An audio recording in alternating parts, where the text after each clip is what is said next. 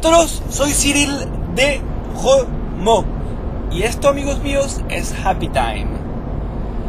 Ayer la noche cuando me iba a dormir, antes de ir a dormir fui a ver mis hijos, los dos varones, varoncitos.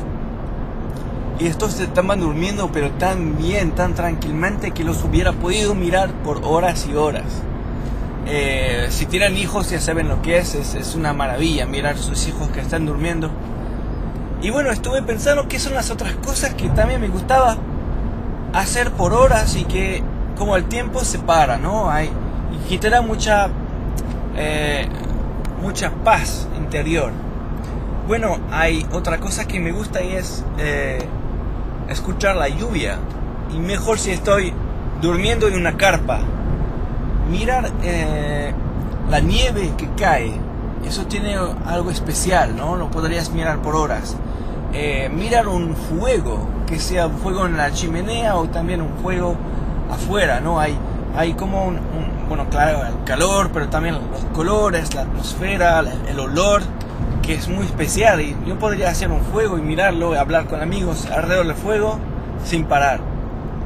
Y bueno, también creo sentarme en la, en la playa y mirar las olas.